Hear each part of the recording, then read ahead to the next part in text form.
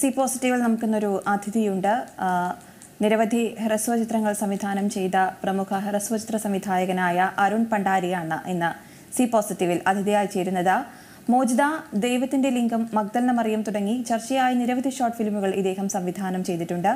യഥാർത്ഥ സംഭവങ്ങളിൽ നിന്ന് പ്രചോദനം ഉൾക്കൊണ്ട് ചെയ്ത മഗ്ദലന മറിയം എന്ന ചലച്ചിത്രമേളകളിലും പ്രദർശിപ്പിച്ചിട്ടുണ്ട്. കാലിക പ്രസക്തിയുള്ള വിഷയങ്ങളിൽ ഹ്രസ്വചിത്രങ്ങൾ ചെയ്യുന്ന അരുൺ പണ്ടാരിക്ക് അറുപതോളം പുരസ്കാരങ്ങളും ലഭിച്ചിട്ടുണ്ട്. നിലവിൽ പണിപ്പുരയിലുള്ള രണ്ട് ഹ്രസ്വചിത്രങ്ങൾ പൂർത്തിയാക്കിയ ശേഷം ഉടൻ തന്നെ ഒരു മുഴുനീള ചലച്ചിത്രം സംവിധാനം ചെയ്യാനുള്ള ഒരുക്കത്തിലാണ് അരുൺ പണ്ടാരി. എന്തായാലും നമുക്ക് സി പോസിറ്റീവിലേക്ക് അദ്ദേഹത്തെ സ്വാഗതം ചെയ്യാം. സ്വാഗതം അരുൺ പണ്ടാരി. നമസ്കാരം നമസ്കാരം. ഈ പറഞ്ഞ പോലെ തന്നെ ഹ്രസ്വചിത്ര മേഖലയിൽ ഒരുപാട് കാലിക പ്രസക്തിയുള്ള വിഷയങ്ങളെ കുറിച്ചുള്ള ഒരുപാട് ചിത്രങ്ങൾ ചെയ്തിട്ടുണ്ട്. എങ്ങനെയാണ് ഈ ഒരു കാലിക പ്രസക്തിയുള്ള വിഷയങ്ങളിലേക്ക് എത്തുന്നത്? ഞാൻ ശരിക്കും പറഞ്ഞാൽ ഈ ഒരുപാട് യാത്ര ചെയ്യുന്ന ഒരാളാണ്. യാത്രയിലുടനീളം ഈ നമുക്ക് നമ്മുടെ ചെയ്യാൻ പറ്റുന്ന ഒരുപാട് വിഷയങ്ങൾ കിട്ടുന്നുണ്ട്. അപ്പോൾ ഞാനൊരു യാത്രയിലുടനീളം എനിക്ക് കിട്ടിയതായിരുന്നു ഈ മഗ്ദലന മറിയം എന്ന ഷോർട്ട് ഫിലിം അതുപോലെ തന്നെ ദൈവത്തിന്റെ ലിംഗം. ദൈവത്തിന്റെ ലിംഗം ഒരു റിയൽ ആയിട്ട് ഞാൻ അത് കണ്ടുകൊണ്ട് നിൽക്കുന്ന ഒരു വ്യക്തിയാണ്. അപ്പോൾ അതുകൊണ്ടാണ് അത് ചെയ്യാൻ എനിക്ക് കുറച്ചുകൂടെ ഇൻസ്പിറേഷൻ ആയത്. അതുപോലെ തന്നെ മഗ്ദലന മറിയവും ഞാൻ മൂന്ന് വർഷത്തോളം എടുത്ത് കഷ്ടപ്പാടെടുത്ത് ചെയ്തൊരു വർക്കാണ് അപ്പോൾ ഒരുപാട് കന്യാസ്ത്രീകളുമായിട്ട് സംസാരിച്ച് കറക്റ്റ് അത് ജെനുവൻ ആയിട്ടുള്ള ഒരു സംഭവം തന്നെയാണ് മഗ്ദലന മറിയം ഈ മഗ്ദലിന മറിയത്തിനെ കുറിച്ച് പറയുമ്പോഴാണ്. കാരണം ഈ ഒരു വിഷയം അത് തന്നെ ആരും പെട്ടെന്ന് കൈവയ്ക്കാൻ മടിക്കുന്ന ഒരു മേഖലയാണ്. തൊട്ടാൽ പൊള്ളുന്ന വിഷയം എന്നൊക്കെ വേണമെങ്കിൽ പറയാം.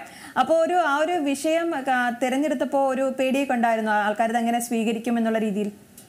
ഇല്ല അങ്ങനെ ഒരു പേടി ഉണ്ടായിട്ടില്ല. കാരണം നമ്മളത് സ്വതന്ത്രമായിട്ടുള്ള ഒരു ആവിഷ്കാരമാണ്. അതിലൊന്ന് പറയുന്നത് കൃത്യമായിട്ട് പറയുന്നത് സ്വാതന്ത്ര്യത്തെ കുറിച്ചാണ് നമുക്ക് ഒരു മതത്തിനും ഒരാളുടെ വ്യക്തി സ്വാതന്ത്ര്യമോ അല്ലെങ്കിൽ അയാളുടെ ജൈവികപരമായിട്ടുള്ള സ്വാതന്ത്ര്യമോ ലൈംഗിക സ്വാതന്ത്ര്യമോ തടഞ്ഞു വെക്കേണ്ട ഒരു കാര്യമില്ലെന്നാണ്. അപ്പൊ അത് തുറന്നു പറയുക എന്നുള്ളത് തന്നെയാണ് ചെയ്തിട്ടുള്ളത് അതിൽ എങ്ങനെയായിരുന്നു ആ ഒരു ഷോർട്ട് ഫിലിമിനെ സ്വീകരിച്ചത് പ്രേക്ഷകർ? പ്രേക്ഷകർക്ക് നല്ല അഭിപ്രായം ഉണ്ട് പക്ഷെ ആ ഷോർട്ട് ഫിലിമാണ് എന്നെ വ്യക്തിപരമായിട്ട് എനിക്കൊരു ഐഡന്റിറ്റി ഉണ്ടാക്കി തന്നത്. കാരണം എന്ന് പറഞ്ഞാൽ ഇന്ത്യയിൽ ഏകദേശം ഒരു പതിനാറ് സംസ്ഥാനങ്ങളിലോളം ഇത് പോയിട്ടുണ്ട്. പല കോളേജുകളിൽ കേരളത്തിൽ തന്നെ പല കോളേജുകളിലും ഇത് സ്ക്രീൻ ചെയ്യപ്പെട്ടു. പക്ഷെ എനിക്ക് തോന്നുന്നു സ്ക്രീൻ ചെയ്യപ്പെട്ടതിനേക്കാൾ ഉപരി ഒരുപക്ഷെ ഒരുപാട് സ്ഥലങ്ങളിൽ നിന്ന് തള്ളപ്പെട്ടിട്ടുണ്ട്. ഒരു വലിയ രാജ്യാന്തര മേളകളിൽ പലതും കേരളത്തിൽ സംഘടിപ്പിച്ചിട്ടുള്ള രാജ്യാന്തര മേളകളിൽ പലരും ഇത് തള്ളിപ്പെടു തള്ളി മാറ്റി നിർത്തിയിട്ടുണ്ട്. പക്ഷെ അതിൽ എനിക്ക് കുറച്ച് സംഭവിച്ചത് മുംബൈ അന്താ അന്താരാഷ്ട്ര ഫിലിം ഫെസ്റ്റിവലിലും അല്ലെങ്കിൽ അങ്ങനെ ഒരുപാട് ഒരുപാട് മേളകളിൽ ഇന്ത്യയിലെ തന്നെ ഒരുപാട് മേളകളിൽ അത് സ്ക്രീൻ ചെയ്യാൻ പറ്റി. അതിൽ ഞാൻ ഭയങ്കര സന്തോഷവാനാണ്. പിന്നെ സ്ക്രീൻ ചെയ്യുന്നതോടൊപ്പം തന്നെ ഈ പ്രേക്ഷകരുമായിട്ട് ഇന്ററാക്ട് ചെയ്യാൻ പറ്റുക എന്ന് പറയുമ്പോൾ ഒരു അല്ലെങ്കിൽ ഒരു ആർട്ടിസ്റ്റിനെ സംബന്ധിച്ച് അല്ലെങ്കിൽ ഒരു ഡയറക്ടറെ സംബന്ധിച്ചിട്ട് ഭയങ്കര സന്തോഷമുള്ള കാര്യമാണ്. കാരണം നമ്മൾ ചെയ്ത വർക്ക് എല്ലായിടങ്ങളിലും പ്രദർശിപ്പിക്കുക അതുമായി ബന്ധപ്പെട്ട സംസാ സംസാരങ്ങളിൽ ഏർപ്പെടുക എന്ന് പറയുമ്പോൾ അത് വളരെ സന്തോഷമുള്ള കാര്യം തന്നെയാണ്. ഈ ഇത്രയും പുരസ്കാരങ്ങൾ വാരിക്കൂട്ടിയ മഗ്ദലന മറിയം തന്നെ ഒത്തിരി ചർച്ചയായ ഒരു വിഷയം തന്നെയാണ്. ഇത്തരം വിഷയങ്ങൾ തന്നെയാണോ ഇപ്പോഴും ഈ ഹ്രസ്വചിത്രങ്ങൾക്ക് തിരഞ്ഞെടുക്കുക? ആ നിലവിൽ അങ്ങനത്തെ കാരണം എന്നെ അനുഭവം എനിക്ക് ഫീൽ ചെയ്തതും അല്ലെങ്കിൽ ഞാൻ അനുഭവിച്ചതുമായിട്ടുള്ള കാര്യങ്ങൾ തന്നെയാണ് പലപ്പോഴും സിനിമയായിട്ട് അല്ലെങ്കിൽ ഷോർട്ട് ഫിലിമായിട്ട് ചെയ്യാൻ ഉദ്ദേശിക്കുന്നത്. അപ്പോൾ ഈ മഗ്ദലന മറിയം എന്ന് പറഞ്ഞാൽ ഏകദേശം ഒരു മൂന്ന് വർഷത്തെ കഷ്ടപ്പാടാണ്. ആദ്യം സ്റ്റോറി എല്ലാം ഡെവലപ്പായി തിരക്കഥയൊക്കെ ആയി കാസ്റ്റിംഗ് എല്ലാം കഴിഞ്ഞതിന് ശേഷം പറഞ്ഞേൽപ്പിച്ചിരുന്ന പ്രൊഡ്യൂസർ പിന്മാറുകയായിരുന്നു ശരിക്കും പറഞ്ഞാൽ. അങ്ങനെ ഒരു മൂന്ന് വർഷം ഇതുമായിട്ട് അലഞ്ഞു. അവസാനം എനിക്ക് മനസ്സിലായി ഇത് ഒരു പക്ഷേ ഇത് എന്റെ മാത്രം വർക്കാണ്. അല്ലെങ്കിൽ എന്നെ മാത്രം ബാധിക്കുന്ന ഒരു വലിയ വിഷയമായതുകൊണ്ട് ഞാനൊരു ലോൺ എടുത്തിട്ടാണ് ഈ വർക്ക് ചെയ്തത്. ലോൺ എടുത്തതും കുറച്ച് വിഷമമായി പോയി. ലോൺ എടുത്ത് ഏകദേശം ഒരു ഒരു ലോൺ എടുത്തതും സെക്കൻഡ് ലോക്ക്ഡൗൺ വന്നു. അങ്ങനെ ഒരു ആറ് മാസത്തെ ഇ എം നഷ്ടമായി. പിന്നെ വീണ്ടും കുറേ പ- കുറെ ഫണ്ട് കൂട്ടുകാർ ഒരുപാട് സഹായിച്ചിട്ടുണ്ട്. അങ്ങനെയാണ് ഏകദേശം ഒരു മൂന്ന് ലക്ഷത്തോളം രൂപയായി ആ ഷോർട്ട് ഫിലിം കംപ്ലീറ്റ് ചെയ്യാനായിട്ട്. പക്ഷേ ഏകദേശം എനിക്ക് തോന്നുന്നു ഒരു ഒന്നൊന്നര ലക്ഷം രൂപ ക്യാഷ് പ്രൈസ് ആയിട്ട് കിട്ടുകയും അതുകൊണ്ട് ലോൺ കംപ്ലീറ്റ് ഇപ്പം അടഞ്ഞു തീർന്നു. ഇനിയിപ്പോൾ അടുത്ത ലോണിൽ അപേക്ഷിച്ചിരിക്കുകയാണ് അടുത്ത വർക്ക് ചെയ്യാനായിട്ട്. എന്തായാലും വിപ്ലവകരമായ തീരുമാനങ്ങൾ തന്നെയാണല്ലോ ഓരോ ഷോർട്ട് ഫിലിം ചെയ്യുമ്പോഴും ഈ പറഞ്ഞ പോലെ പൈസയുടെ പേരിനാണെങ്കിലും അല്ലാതെ വിഷയങ്ങൾ തിരഞ്ഞെടുക്കുമ്പോഴും ഒക്കെ തന്നെ എടുക്കുന്നത്. എന്താണ് ഇതിനൊരു പ്രചോദനം? ഇൻസ്പിറേഷൻ കാരണം എന്ന് പറഞ്ഞാൽ ഇത് നമുക്ക് ഫീൽ ചെയ്യണം. എന്നെ എന്നെ ഉറക്കം കെടുത്തിയതാണ് ഈ മൂന്ന് വർക്കുകളും വളരെ എന്താ വിശാലമായി ജീവിച്ചു അല്ലെങ്കിൽ വളരെ സ്വസ്ഥമായിട്ട് ജീവിച്ചുകൊണ്ടിരുന്ന ഒരു എന്നെ എന്താ പറയാ ഭയങ്കര ഉറക്കമില്ലായ്മ ഭയങ്കര ചിന്ത ഡിപ്രഷനിലൂടെ ഭയങ്കര ഇതിലൂടെയാണ് ഞാൻ കടന്നു പോയിക്കൊണ്ടിരുന്നത് അപ്പൊ എനിക്ക് മനസ്സിലായി ഞാൻ സിനിമ ചെയ്താൽ മാത്രമേ എനിക്ക് ഇതിൽ നിന്നൊരു മുക്തി ഉണ്ടാവുകയുള്ളൂ എന്ന് മനസ്സിലായി. അതിനുശേഷമാണ് ഞാൻ ഇതിലോട്ട് തിരികെ ഏകദേശം ഇപ്പൊ ഒരു പത്ത് വർഷത്തോളമായിട്ട് സജീവമായിട്ട് പ്രവർത്തിക്കുന്നുണ്ട്.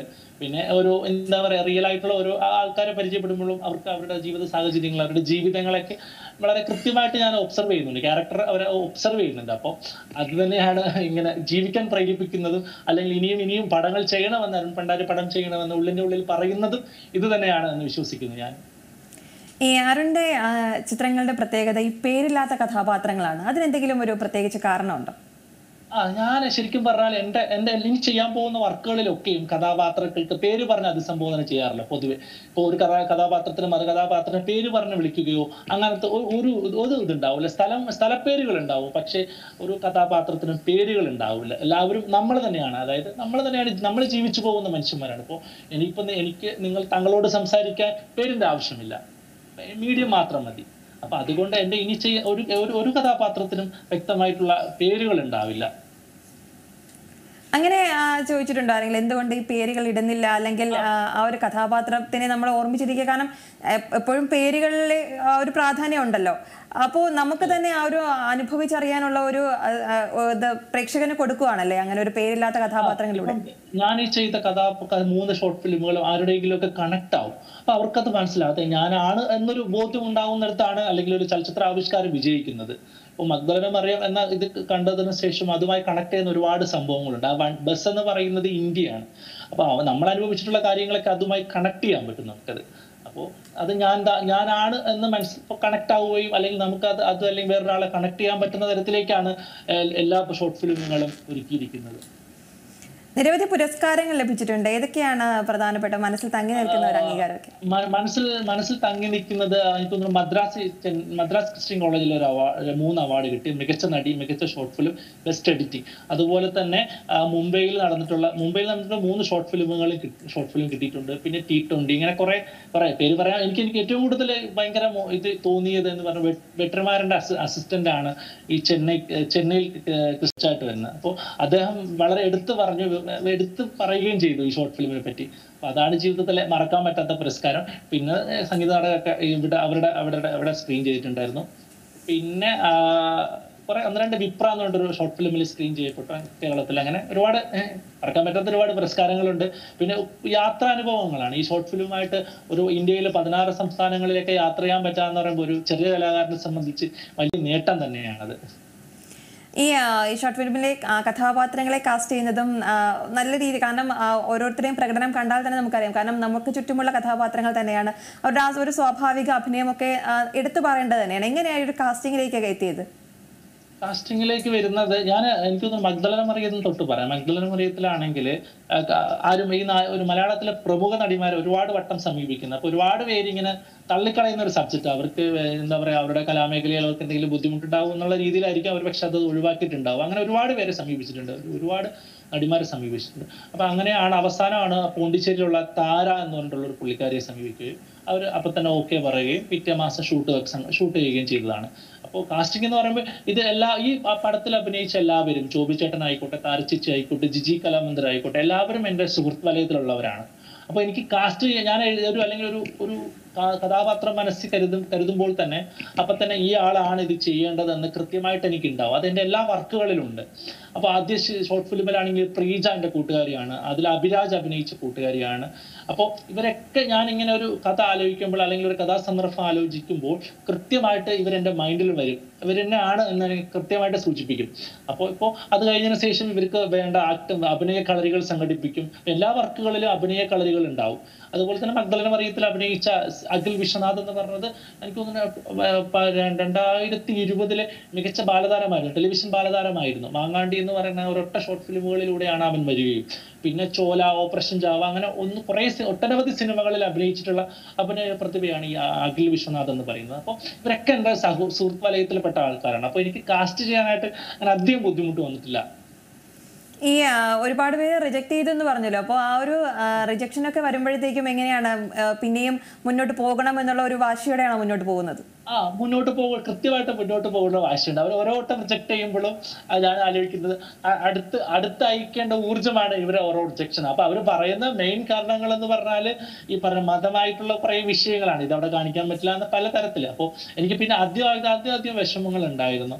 അപ്പോൾ പിന്നെ അത് എനിക്ക് തോന്നുന്നു മുംബൈയിലൊക്കെ പോയിട്ട് അവിടെ സ്ക്രീൻ ചെയ്യുമ്പോഴാണ് ശരിക്കും പറഞ്ഞാൽ കേരളത്തിൽ അവർ അതത്ര സ്വീകരിക്കുന്ന ഒരു സബ്ജക്റ്റ് അല്ല എന്ന് മനസ്സിലാവുകയും. പക്ഷെ എന്നാൽ കേരള പൊതു സ്ഥലങ്ങളിൽ ആൾക്കാർ വളരെ രഹസ്യമായി ചർച്ച ചെയ്യുന്ന വിഷയങ്ങളാണ് ഇതൊക്കെ എന്ന് എനിക്ക് മനസ്സിലായത്. അപ്പോൾ ഇനിയും രണ്ട് ഹ്രസ്വ ചിത്രങ്ങൾ പണിപ്പുരയിലാണെന്നാണ് മനസ്സിലാക്കുന്നത്. ഇനി- അതെ അതെ. ഇനി രണ്ട് സിനിമ രണ്ട് ഷോർട്ട് ഫിലിമുകൾ ഉണ്ട് അത് കഴിഞ്ഞതിന് ശേഷം എനിക്ക് തോന്നുന്നു ഡിസംബർ ഒക്കെ ആകുമ്പോൾ ഒരു പക്ഷേ ഒരു ഫീച്ചർ ഫിലിമിന്റെ സ്റ്റാർട്ടിങ് ആകുമെന്ന് വിശ്വസിക്കുന്നു. അതിനെക്കുറിച്ചൊന്ന് പറയാമോ എന്തായിരിക്കും സബ്ജക്റ്റ് ഇങ്ങനെ ക്ലവകരമായ സബ്ജക്റ്റുകൾ തന്നെയാണോ? അത് ഒരു ഒരു ഞാനിപ്പോ താമസിക്കുന്ന ഇടുക്കിയിലാണ്. അവിടെ ഒരു പ്ലാക്കിത്തടം കുട്ടിക്കാനത്താണ് ഞാൻ താമസിക്കുന്നത്. ഇവിടെ ഒരു കോളനി ഉണ്ട്. അപ്പൊ അതുമായി ബന്ധപ്പെട്ടുള്ള ഒരു പൊളിറ്റിക്കൽ ആയിട്ടുള്ള ഒരു സിനിമയാണത്. സിനിമ അങ്ങനെയാണ്. പക്ഷെ ഈ രണ്ട് ഷോർട്ട് ഫിലിമുകൾ എന്ന് പറയുമ്പോൾ റിയൽ ഇൻസിഡന്റുകളാണ് രണ്ട് രണ്ട് കൂട്ടുകാർക്കിടയിൽ സംഭവിച്ച റിയൽ ഇൻസിഡന്റ് ആണ് ആ സിനിമ രണ്ട് സിനിമകൾ അത്തരത്തിൽ ഈ നമുക്ക് അരുൺ സൂചിപ്പിച്ചതുപോലെ തന്നെ നമ്മുടെ നിത്യജീവിതത്തിലെ സംഭവങ്ങൾ അല്ലെങ്കിൽ കാണുന്ന സംഭവങ്ങളൊക്കെ തന്നെ നമ്മുടെ ചലച്ചിത്രത്തിന് വിഷയമാകാറുണ്ട്. അങ്ങനെ വിഷയങ്ങൾ ശേഖരിക്കാറുണ്ടോ? യാത്രകളിലേക്ക് ശേഖരിക്കാറുണ്ടെന്ന് പറഞ്ഞു. എങ്ങനെയാണ് ആ ഒരു നിരീക്ഷണം നടത്തുന്നത്? നിരീക്ഷണം നടത്തുന്നത് നമുക്ക് സ്വാഭാ അസ്വാഭാവികമായി കാണുന്നതൊക്കെ ഞാൻ ഒരു നോട്ട് ചെയ്യാറുണ്ട് ഒബ്സർവ് ചെയ്യാറുണ്ട് പിന്നെ നോട്ടിൽ അടിച്ചിടാറുണ്ട് അപ്പൊ ഇത്തരം സംഭവങ്ങളെ നമുക്ക് കണക്ട് ചെയ്യാൻ പറ്റും. നമുക്കൊരു കഥ എഴുതുന്ന സമയത്ത് വളരെ വൃത്തിക്ക് കണക്ട് ചെയ്യാൻ പറ്റും. അപ്പൊ ഞാൻ വയനാടായിരിക്കുന്ന സമയത്ത് ഒരു വെറുതെ ഒരു ഊര്- ഊരിൽ ഊര് ഊര് സന്ദർശിക്കാനിടയായി. അപ്പൊ അവിടെ കിട്ടിയ ഒരു ചെറിയൊരു തോട്ടാണ് ഈ പറഞ്ഞ പോലെ അടുത്ത സിനിമയാവുന്നതും. ഞാനിപ്പോ കോളനികളെ കുറിച്ച് കേരളത്തിലെ കോളനികളെ കുറിച്ച് പഠിക്കുകയും അപ്പൊ അതുമായി ഇപ്പം പഠിച്ചുകൊണ്ടിരിക്കുകയാണ് അപ്പോൾ ഇങ്ങനെ ആ പിന്നെ അതുപോലെ തന്നെ നമുക്ക് വ്യത്യസ്തമായിട്ട് തോന്നുന്ന കഥാപാത്രങ്ങളോട് അല്ലെങ്കിൽ വ്യക്തികളോട് ഞാൻ എന്ത് മാക്സിമം അവരോട് സംസാരിക്കാൻ നോക്കും. അപ്പൊ അവരിൽ നിന്ന് എന്തെങ്കിലും നമുക്ക് കിട്ടുമെന്നറിയാം അപ്പൊ പരമാവധി ഈ സംസാരിക്കുന്നവരോടൊക്കെ ഒരു വലിയ കഥകളൊക്കെ ഉണ്ടാവും. അവരുടെ അല്ലെങ്കിൽ ജീവിതത്തോട് അവർ പോരാടിയ അല്ലെങ്കിൽ മല്ലടിച്ച ഒരുപാട് കഥകൾ ഉണ്ടായിരിക്കും അവർക്ക് നമ്മളോട് പറയാനായിട്ട്. അപ്പോൾ നിലവിൽ കഥ തേടി പോകുകയും ചെയ്യുന്ന ഒരാളാണ് കഥ എന്നെ തേടി വരികയും ചെയ്യും അപ്പോൾ കൂടുതൽ എന്നെ തേടി വരികയാണ് ചെയ്യുന്നത്. അപ്പോൾ അത്തരം ഒരുപാട് കഥകൾ കിട്ടാറ് കേൾക്കാറുണ്ട് ഞാൻ. പിന്നെ വ്യക്തികളെ ഞാൻ ഒബ്സർവ് ചെയ്യാറുണ്ട്. വ്യക്തികളെ ഒബ്സർവ് ചെയ്യാറുണ്ട്. ഇപ്പൊ ഞാൻ ഒരു സ്ഥലത്ത് താമസിക്കാൻ പോവുകയാണെങ്കിൽ അവിടുത്തെ ചുറ്റുപാടുകൾ അവിടുത്തെ സാംസ്കാരിക പൈതൃകം മൊത്തം എല്ലാം മൊത്തം ഒരു സെൽഫ് സ്റ്റഡിയിലൂടെയാണ് അപ്പൊ എന്തെങ്കിലും ഒരു ചെറിയൊരു സ്പാർക്ക് മതി. പിന്നെ എനിക്ക് അതിൽ നിന്ന് കണക്ട് ചെയ്യാൻ പറ്റുന്ന ഒരുപാട് ഡീറ്റെയിൽസ് വിവരങ്ങൾ കിട്ടും. അങ്ങനെയാണ് കൂടുതൽ സംഘടിപ്പിക്കുന്ന കാര്യങ്ങളൊക്കെ. ഈ ആ, മറിയം നമ്മുടെ സോഷ്യൽ മീഡിയയിലേക്ക് എത്തിയപ്പോൾ തന്നെ ഒരുപാട് കമന്റ്സ് ഒക്കെ വരുന്നത് കണ്ടു. അതായത് അരുണിനെ അഭിനന്ദിച്ചുകൊണ്ടുള്ള ഒരുപാട്. കാരണം ഇത്രയും ഇത്തരമൊരു ആ, വിഷയമെടുത്ത് അതിനെ ഇങ്ങനെ നല്ല രീതിയിൽ പ്രേക്ഷകർക്ക് മുന്നിൽ എത്തിക്കുക എന്നുള്ള ചെറിയ കാര്യമല്ല. അതിനെ അഭിനന്ദിച്ചുകൊണ്ട് ഒരുപാട് നല്ല പ്രതികരണങ്ങൾ വരുന്നത് കണ്ടു. എങ്ങനെയാണ് ഈ ഒരു സോഷ്യൽ മീഡിയയിലേക്ക് ഒരു അപ്രീസിയേഷൻ കിട്ടുമ്പോഴൊക്കെ തോന്നുന്നത്? രണ്ടു തരം ഓരോ ആൾക്കാരും പേഴ്സണലി വിളിച്ച് ചീത്ത വിളിക്കുന്ന ആൾക്കാരുണ്ട് മെസ്സേജ് അയക്കുന്ന ആൾക്കാരുണ്ട്. അവരോട് എനിക്കൊന്നും പറയാനില്ല. അവരുടെ വെറുതെ സമയം പോകുന്ന വേറെ ഒന്നും അവർക്ക് അതിനെ നേടാനില്ല. അവർക്കൊന്നും മാനസിക അപ്പൊ ഞാൻ കാരണം ഒരാൾ സന്തോഷിക്കുന്നുണ്ടെങ്കിൽ സന്തോഷിച്ചോട്ടെ. അതിനപ്പുറത്തേക്ക് എനിക്കൊന്നുമില്ല. പിന്നെ നല്ല കമന്റുകൾ കിട്ടും. ഇപ്പോൾ നല്ല ആൾക്കാർ വിളിച്ച് അഭിപ്രായങ്ങൾ പറയാറുണ്ട്. അപ്പൊ ഇത്തരം അഭിപ്രായങ്ങൾ അടുത്ത അടുത്ത് ചെയ്യുന്ന വർക്കിന് നല്ല ബേസ്മെന്റ് ആവുമെന്ന് കരുതുന്നുണ്ട്. എല്ലാവരും എല്ലാ ഇപ്പോൾ ഒരു സിനിമ നമ്മൾ നമ്മൾ റിലീസ് ചെയ്യുമ്പോൾ ഒരുപാട് അഭിപ്രായങ്ങൾ ഉണ്ടാവും അപ്പോൾ അത്രയും നല്ല അഭിപ്രായങ്ങളൊക്കെ മാനിക്കുന്നുണ്ട്. പിന്നെ മറ്റുള്ളവർ എന്താ ചീത്ത വിളിക്കുന്നവരുണ്ടാവും തെറി വിളിക്കുന്നവരുണ്ടാവും കല്ലെറിയുന്നവരുണ്ടാവും. അപ്പൊ എനിക്ക് പറയാനുള്ളത് നിങ്ങളിൽ പാപം ചെയ്യാത്തവർ എന്നെ കല്ലെറിയട്ടെ എന്ന് എനിക്ക് പറയാനുള്ളൂ ഈ അവസരത്തിൽ. ആൾക്കാരുടെ ഒരു ആസ്വാദന രീതിയിൽ വന്നൊരു മാറ്റത്തിന്റെ സൂചന തന്നെയാണല്ലേ? ഇത്തരം ഒരു വിഷയം ആയിട്ട് കൂടെ ഇങ്ങനെ ഒരു നല്ല അഭിപ്രായങ്ങൾ കിട്ടുന്നത് കൂടി. അതെ അതെ. തീർച്ചയായിട്ടും തീർച്ചയായിട്ടും. ഇനി എന്തൊക്കെ ഇനി എന്തൊക്കെയാണ് ഉള്ള പുതിയ പ്രോജക്റ്റുകളൊക്കെ? മുന്നോട്ട് പ്രോജക്റ്റുകൾ ഈ രണ്ട് ഷോർട്ട് ഫിലിം അത് കഴിഞ്ഞൊരു ഫീച്ചർ ഫിലിം ഉണ്ട്. അത് കഴിഞ്ഞിട്ട് വീണ്ടും ഒരു പടം ചെയ്യാനായിട്ടുള്ള ഒരു ആലോചനയാണ്. അതിന്റെ എഴുത്തും ഇക്കൂട്ടത്തിൽ നടന്നുകൊണ്ടിരിക്കുകയാണ്.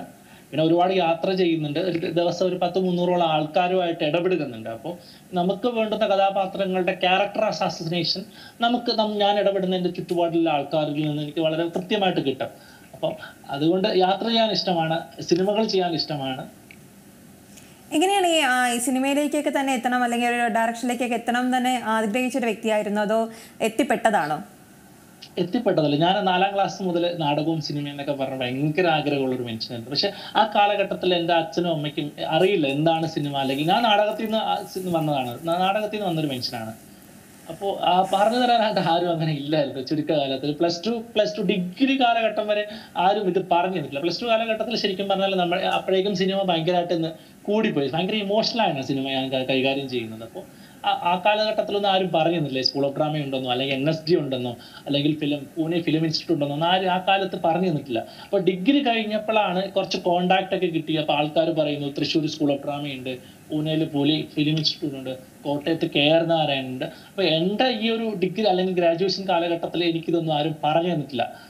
അത് ഒരു ചെറിയ നെഗറ്റീവ് അല്ല അതൊരു ചെറിയൊരു ബുദ്ധിമുട്ടായിട്ടുണ്ട്. അപ്പോൾ നമ്മുടെ ഒരു സ്റ്റാർട്ടിംഗ് സ്റ്റേബിളിൽ ഇതാരും പറഞ്ഞു തന്നിട്ടില്ല. പിന്നെ ഡിഗ്രി കഴിഞ്ഞതിന് ശേഷമാണ് ഞാൻ സാധ്യം അപ്പം എനിക്ക് മനസ്സിലായി. ഞാൻ ആരും അസോസിയേറ്റ് ആയിട്ടോ അസിസ്റ്റന്റ് ആയിട്ടോ ഒന്നും പോയിട്ടില്ല. ഇനി അങ്ങോട്ട് പോകാൻ ഉദ്ദേശിക്കുന്നുള്ളൂ അപ്പോൾ ഞാൻ എന്റെ വീട്ടിലേക്കുള്ള വഴി താനേ പഠി സ്വന്തമായിട്ട് കണ്ടുപഠിച്ചതാണ്. അപ്പൊ അതുകൊണ്ട് ഞാൻ എന്റെ സിനിമകളൊക്കെ സ്വന്തമായിട്ട് എന്റെ ഓരോ വർക്കുകളും ഇപ്പം മഗ്ദലന മറിയ അല്ലെങ്കിൽ ദൈവത്തിന്റെ ലിംഗത്തിലുള്ളത് പോരായ്മകളൊന്നും മഗ്ദലന മറിയത്തിലില്ല ഇപ്പൊ മോചിതയിൽ ഉണ്ടായിരുന്നത് ദൈവത്തിന്റെ ലിംഗത്തിൽ വരാതിരിക്കാനായിട്ട് പരമാവധി. എനിക്കൊന്നും സിനിമ എപ്പോഴും സാങ്കേതികമായിട്ട് മുന്നിട്ട് നിൽക്കണം. അപ്പൊ ലിംഗത്തിൽ ലിംഗത്തിലില്ലാത്തത് മഗ്ദലന മറിയത്തിൽ കറക്റ്റ്. അപ്പോൾ ആ ഒരു ട്രാൻസ്ഫോർമേഷൻ ഉണ്ട്. അപ്പൊ അതുപോലെ തന്നെ മഗ്ദലന മറിയത്തിൽ സംഭവിച്ച സാങ്കേതിക തകരാറുകൾ അടുത്ത രണ്ട് സിനിമകളിൽ വരാതിരിക്കാനായിട്ട് വളരെ സസൂക്ഷ്മം നിരീക്ഷിച്ചിട്ടാണ് വർക്കുകൾ ചെയ്യുന്നത്. അപ്പോൾ അപ്പോൾ പാഷനാണ്. സിനിമ ഭയങ്കര ആഗ്രഹമാണ്. മനസ്സിൽ കൊണ്ട് നടക്കുന്ന ഒരു വലിയ വികാരമാണ് സിനിമ. സിനിമ ഇമോഷണൽ ആണ്. എനിക്ക് ഭയങ്കര സങ്കടവും വിഷമവും അല്ലെങ്കിൽ സങ്കടവും സന്തോഷവും ഒക്കെ തരുന്ന ഒരു പ്രതലമാണ് സിനിമ എന്ന് ഞാൻ വിശ്വസിക്കുന്നു ഈ പറഞ്ഞ പോലെ തന്നെ എങ്ങനെയാണ് ഇതിന്റെ ടെക്നിക്കൽ വർക്കുകളൊക്കെ നടന്നത്? കാരണം ഒത്തിരി നല്ല രീതിയിൽ തന്നെ അത് എഡിറ്റ് ചെയ്തിട്ടുണ്ട്. ക്യാമറ വർക്കുകൾ ആയാൽ തന്നെ എല്ലാം എടുത്തു പറയേണ്ട കാര്യങ്ങളാണ്. എങ്ങനെയാണ് അതിന്റെ കാര്യങ്ങളൊക്കെ? ആരാണ് കൂടെ ഉണ്ടായിരുന്നത്? സാങ്കേതിക വശങ്ങളെ കൂടുതൽ വായിച്ചറിഞ്ഞതാണ്. കൂടുതൽ വായിച്ചു കൂടുതൽ വായിച്ചറിയുന്നതാണ്. പിന്നെ ഒരു സിനിമ ഒരു ഇപ്പൊ റെഫറൻസ് സിനിമകൾ ഞാൻ നോക്കാറുണ്ട്. അപ്പൊ ആ സിനിമയിൽ ആ സിനിമയിൽ ഉണ്ടാകുന്ന പോലത്തെ ഫ്രെയിമുകളും അല്ലെങ്കിൽ അതിന്റെ കളർ ഗ്രേഡിംഗ് ഒക്കെ വേണമെന്ന് ഇപ്പൊ നമ്മളെ സാങ്കേതികരോട് പറയുമ്പോൾ അവർ ചെയ്തു തരും പിന്നെ ഇതിൽ മ- മഗ്ദലന മറിയത്തിലെ ക്യാമറ ചെയ്തിരിക്കുന്നത് മിഥുൻ മുരളീധരൻ എന്ന് പറഞ്ഞൊരു നെയ്യാറ്റിങ്കരയുള്ള എന്റെ ഒരു സുഹൃത്ത് തന്നെയാണ്. അദ്ദേഹം ഒരുപാട് സിനിമകൾ ചെയ്തിട്ടുണ്ട്.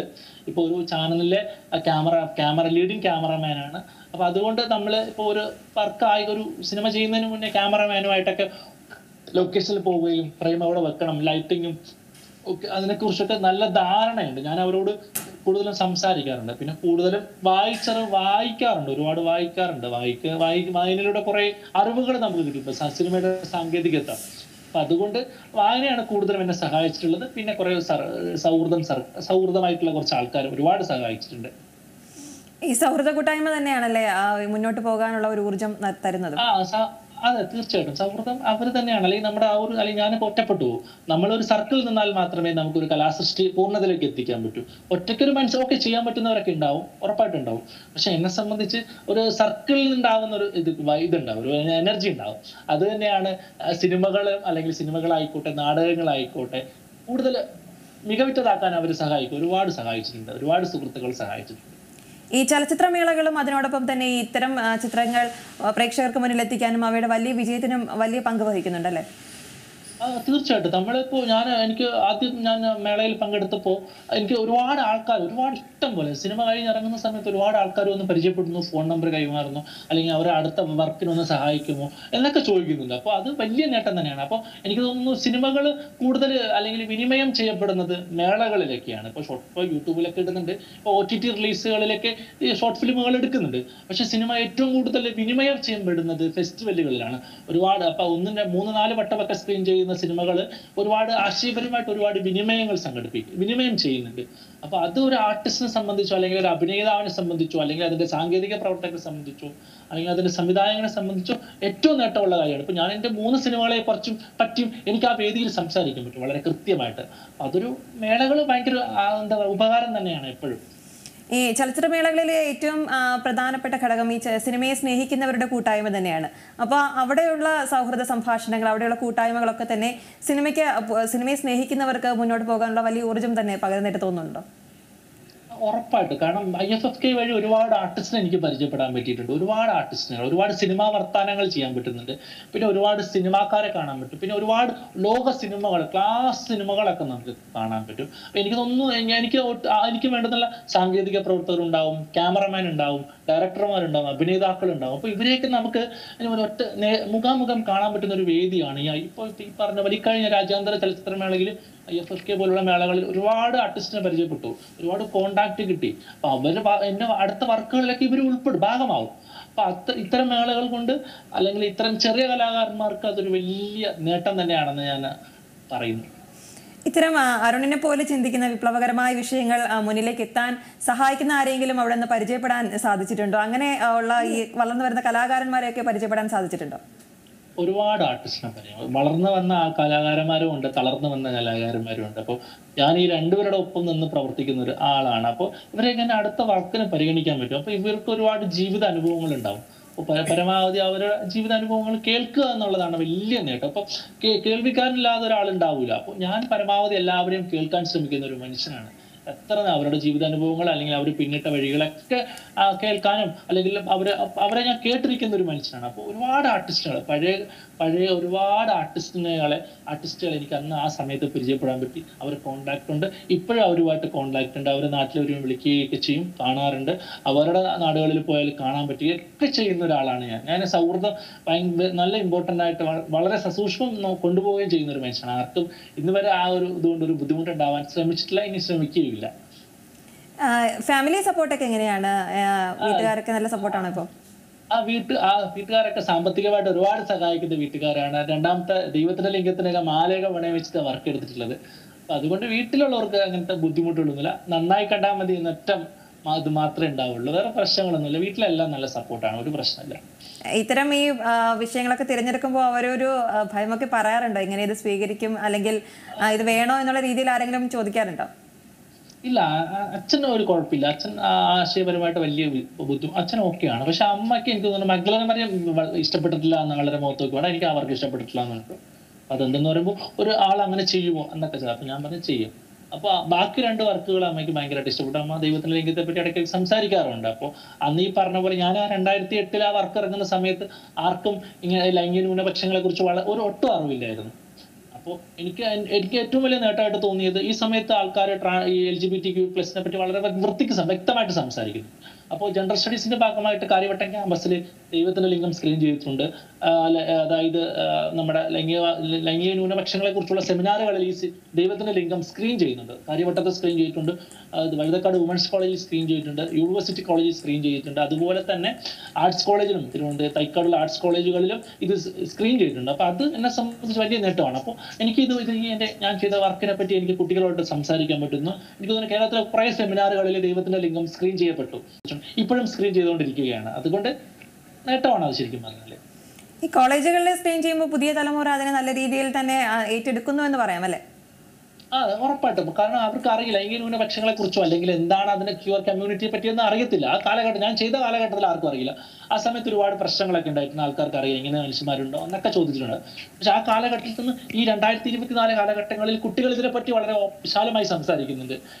ക്യാമ്പസുകളിൽ സംസാരിക്കുന്നുണ്ട് പൊതു ഇടങ്ങളിൽ സംസാരിക്കുന്നുണ്ട്. അപ്പോൾ വലിയ നേട്ടമാണ്. അപ്പോൾ ഈ ഒരു ഷോർട്ട് ഫിലിം കൊണ്ട് എനിക്ക് അത് വലിയ നേട്ടം ഉണ്ടായിട്ടുണ്ട്.